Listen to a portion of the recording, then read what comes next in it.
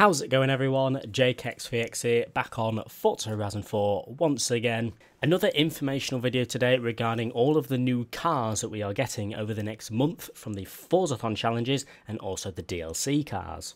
Now before I get advanced into today's video, I would just like to quickly announce that I'm starting up a second channel. There's loads more games that I would love to play on this channel, but because of the YouTube algorithm, I can't really risk playing other games to get lower views or ruin my future views and stuff like that. So I've started up a second channel, it's called Zexon, which is my Xbox gamer tag. We're hopefully going to be playing lots of Black Ops 4 because I'm really good at that. I was I was number one in the world back on Black Ops 3 for the game mode I played. So I'm pretty good at Black Ops 4 as well, and we're going to be playing all sorts of other games. I may do a little bit of a giveaway when we get to a thousand subscribers. But anyway, if you want to sub to the channel, a link will be in the description. As I said, it's called Zexon. Every now and then, Forza themselves do update live streams where they basically showcase every single feature that's coming in an upcoming update. And a couple of days ago, we had the Update 5 live stream, and within it, they showcased 12 of the new cars, meaning 4 Forzathon cars and 8 DLC cars, which matches up to the whole month. They showed us what each of the cars would be. So today, I'm going to be telling you and showing you what the 12 cars we are getting are, which of the 12 are Forzathon cars, and which of the 12 are DLC cars for the Car Pass owners. Now, I believe the first ones will be available tomorrow, which will be Thursday, and then the rest will be next week next week and so on and so on. Now, obviously, Tuesday is when we get all the Mitsubishis and the actual update. However, Thursday, which is tomorrow, this is when we're going to get all of the DLC cars and the Forzathon cars. That's what I think, anyway.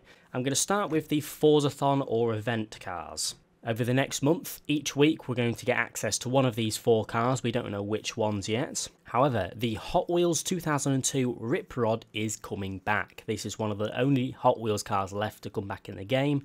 And within the next four weeks, this car will be available in either the Forza Forzathon shop or through one of the Championship event challenges. The next one is the Hot Wheels Ford Mustang. Now this is my favourite Hot Wheels car sheer because of the look of it and the sound of it. I'm hoping they haven't changed the car sound of this because it sounded absolutely insane on Horizon 3. But this car will also be another Forzathon or event car challenge which I'm really looking forward to this one. This one's going to be good and I'm glad that it's free for everyone technically anyway. The third one is the Maserati S Levante 2017 car. I think that's how you pronounce it. This is just a, a big 4x4 Maserati by the looks of it. Pretty cool looking car. Looking forward to this one. This will also be one of the challenges. And the fourth one is the Mercedes-Benz 1969 280 SL, sorry. Went a bit all over the place then, but those are the four cars that we're going to get from Forzathon challenges and championship events. Now let's head on to the eight cars that we're getting with the car pass, two per week for the next four weeks. We're getting the Ford Transit van, the 1965 one, the one that looks really weird. This is coming as a DLC car. We're getting the Ford Mustang Fastback GT 1968, a pretty classic looking Mustang, looking forward to that one. We're getting the IMP Hillman 1966, little Diddy car, looks pretty cool. Now for the better ones, we're getting the Honda NSX RGT 2005. There was a very, very small amount of these cars ever made, and I'm not sure that anyone really knows where they are but that's going to be really cool to drive around in the game as a DLC car for one of the weeks. Bear in mind, I'm not sure we know which week has these cars yet.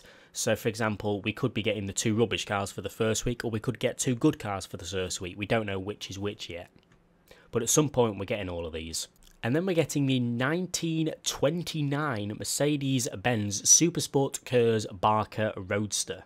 That's a bit of a mouthful, but that's also looking pretty cool. Reminds me of the old Bugatti and the old, the other old Mercedes Benz anyway. That's coming at some point. We're also getting the Opel Kadett A 1963. Now, if anyone watches Top Gear, this is also known as Oliver.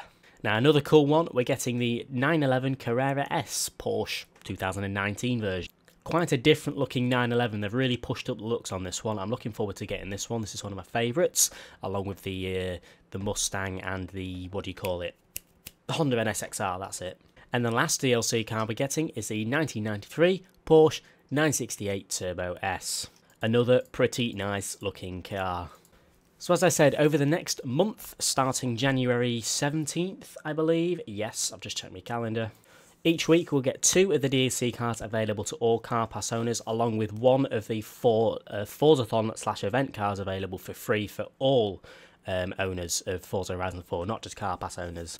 And I've got to say, they're still bringing out some pretty cool cars in the car packs. Obviously, the, I can see that they're they're chucking in the odd weird car like the, the Hillman IMP. It's still a pretty cool car, but I'm sure there's more people interested in such as the NSXR, for example. I think they've run out of Hot Wheels cars to add. I'm so glad they've added the Ford Mustang. I've been waiting for that for a while. But um, I'm glad they've added Oliver as well. I'm, I'm definitely going to be playing around in Oliver. But yeah, I'm not going to drag along for too long. Those are the 12 new cars that we're getting over the next month in Forza Horizon 4. And as also, we're getting the Mitsubishi cars as well, which have already technically came out. But yeah, that's basically it. Leave a like if you've enjoyed everyone. Let me know what your car that you're looking forward to the most in the description is, or in the comment section to say. Subscribe if you haven't already for more Forza Horizon 4 content, and I'll see you all in the next video.